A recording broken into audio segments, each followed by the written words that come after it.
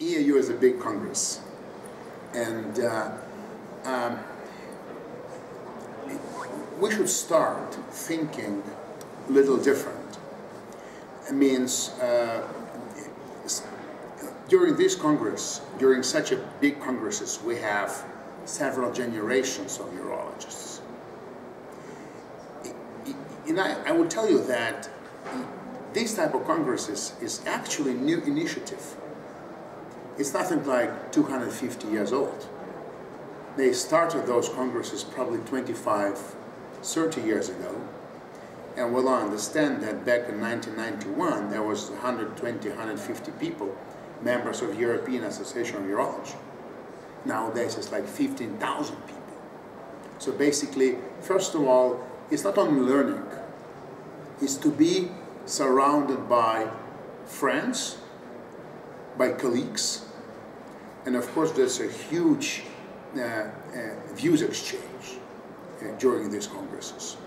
So basically, it, it, it, has to, it, it should not be simplified, uh, saying uh, what's the benefits for, uh, for someone of those congresses. potentially, we should be selective and we try to raise our younger generations to appreciate first of all, uh, getting together uh, uh, initiatives, getting together time, which is, of course, very, very important on a professional level.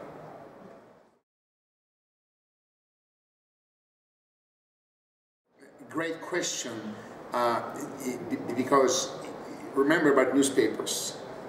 Do we need newspapers? Do we need journals? Do we need paper editions? Uh, the answer is very simple, yes, we do need it. Uh, do we need congresses? The answer is yes. the main goal in Europe achieved uh, is uh, we, we, try to unite uh, European urology. And European urology probably uh, became homogeneous in a, in a, in a good mean. Uh, and it's a, it's a huge task.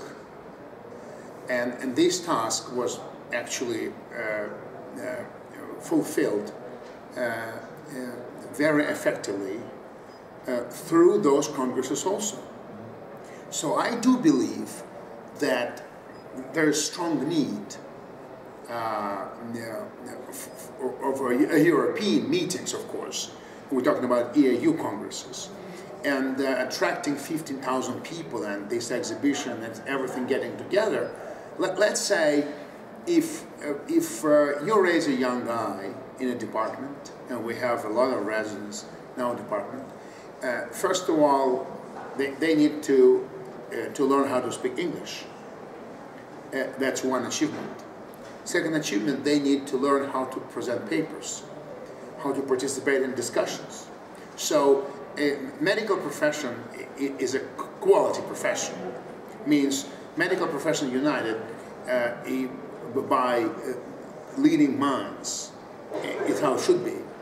So I do believe that um, uh, this homogeneous uh, uh, task to be to be equally effective in Europe is actually partially achieved by those congresses.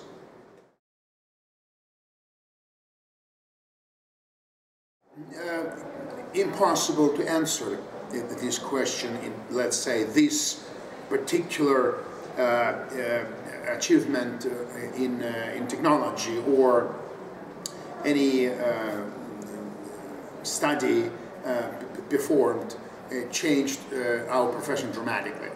I, I, would say that there are some uh, highlights of every Congress, and in this Congress, for example, quality of life issues.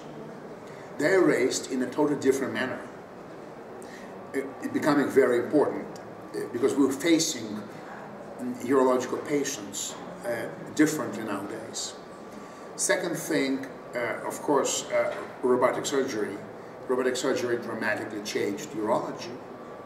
And finally, uh, molecular biology, immune therapy, uh, which we believe will be probably main uh, target of therapy in oncology uh, pretty soon. So there are a wide variety of uh, uprising new coming you know, technologies, uh, molecular technologies, um, which probably some sort of uh, uh, in between urology and basic science. So uh, many departments nowadays in Europe are dedicated to basic science because modern urology cannot be uh, separated from a basic scientist. So that, that would be the main thing, not maybe during this Congress, but during past, past six, six, seven years. I, I do believe that if you guys post uh, uh, on the web and you actually uh, try to cover uh, not only European urologists, but probably urologists worldwide, I, I do believe that for many, many Eastern countries, uh, Japan, um, coast, uh, maybe even for South American countries, um, th those are very important. So if they may have unbiased uh, uh, personal views or unbiased data directly from the Congress, uh, that would be greatly appreciated. Oh, on reading European Medical Journal, uh, you know, uh, it depends. It depends what kind of journal you guys gonna gonna produce it could be everyday thing for every doctor. That, that's what we need probably. We need like simple ad, simple, uh, simple um, uh, source of information, for example, for every day. Could be the case. Or we need unbiased coverage of every Congress. And we, nowadays we have like two congresses per week probably in urology worldwide. So it's a stream of congresses on different languages. So if you may cover them unbiased, that would be that would be fantastic tool for all of us. Um, you know what? Nowadays you may compare them. Uh, I'll be the last person to say they're all the same. They're all different. But again, if you're selective, if you're not a traveler, and you're not traveling just to travel, if you're participating and if you enjoy this, uh, uh, taking part of these congresses. So you may be selective and you may go one to three times a year to several places, different places, and learn a lot.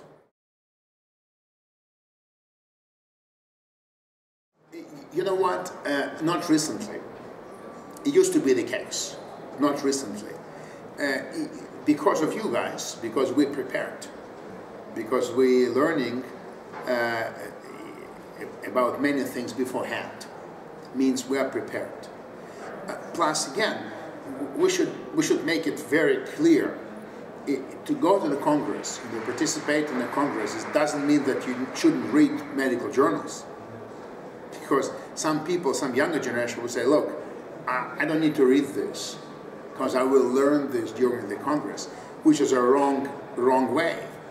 So basically, if you, and you being medical doctor, fortunately or unfortunately, you should read every day. So reading every day, learning things, you basically prepare yourself for the Congress, you prepare yourself for publication, you prepare yourself for, let's say, uh, communication with your colleagues. And you develop yourself. Well, the, you know, the main change, the Congresses became bigger. That's it it, that's nothing like they changed. They, it, you know what?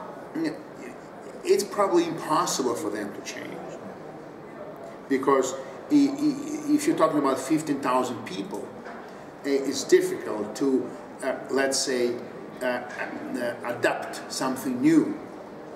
If you adapt something new, it, it, it's time consuming to prepare it as a package for, for doctors, for consumers, who are consumers, okay? So basically, I do believe that, those congresses uh, uh, will be uh, stay will be uh, and stay in a great demand among uh, several generations of, uh, of doctors, younger and more, more experienced.